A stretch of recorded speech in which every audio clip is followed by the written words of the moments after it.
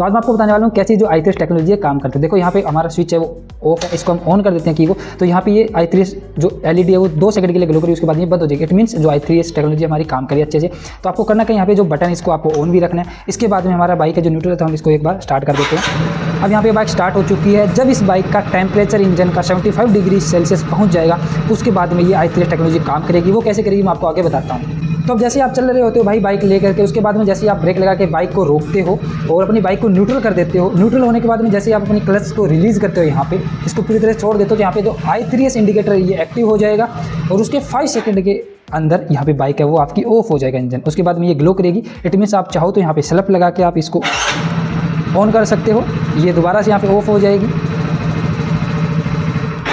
या फिर आप चाहो तो इस क्लच को दोबारा से दबाओगे तो यहाँ पे ऑन हो जाएगा, उसके बाद में आप गियर लगा के आगे चल सकते हो। तो इस तरीके से जो आई थ्री एस टेक्नोलॉजी है वो काम करती है।